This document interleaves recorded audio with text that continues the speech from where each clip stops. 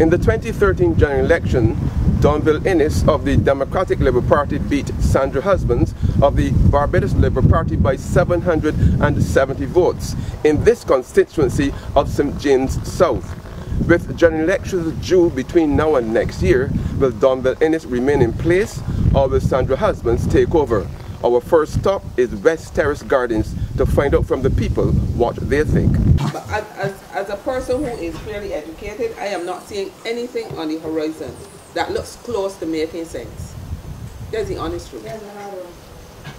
I ain't hear anybody coming with any plan. I think the opposition slip up in capitalizing on what is going on all the mistakes they made, and they're not capitalizing. So if they're capitalizing now, I can't expect them to come and do something later. But I sticking with uh, Donville Inniss.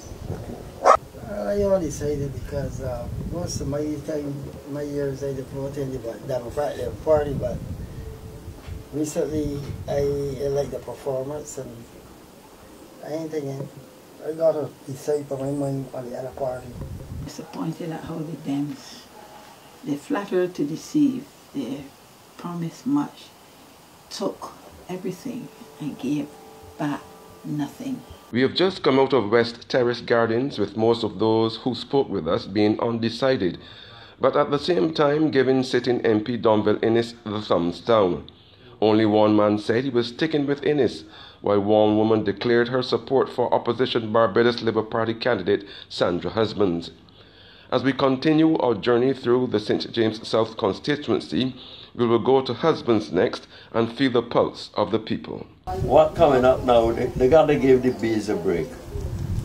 They got to give the bees a break now.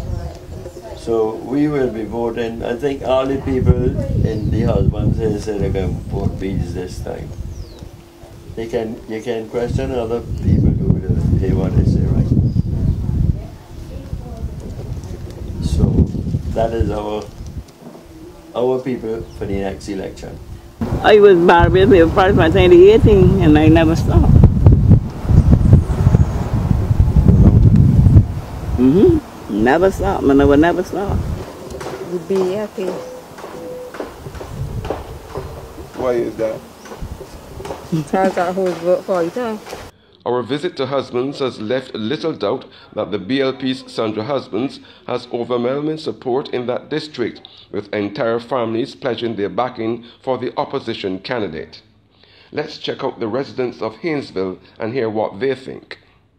May, may talk to politicians, the politicians say one thing, and then and again they don't care about you. So my belief is in God. He's my judge.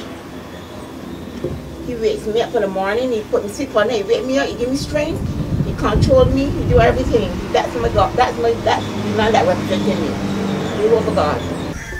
Well, Sandra more communicate with me better than uh, Dogger in it. I sit on me, never see she before, but... I can see her every time I see her. Yeah. She's the time I had a little tournament over there organized as far as the tennis is concerned, and Sandra paid more interest and sure that the police can stop the tournament was actually there all throughout the tournament and things. Well, they need a change in this government right now. Things are definitely too hard in Barbados, and this government has to go. There's no doubt about it. Things are definitely too hard in this country. Since DLP has been in power, which is generally the case, no money is ever around.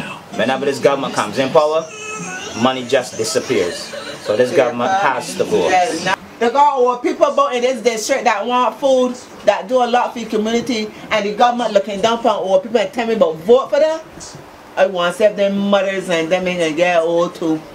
As in previous constituencies, the apathy among residents in Haynesville was evident, but at the same time, a significant number of constituents in this St. James South riding are leaning towards the BLP's Sandra Husbands.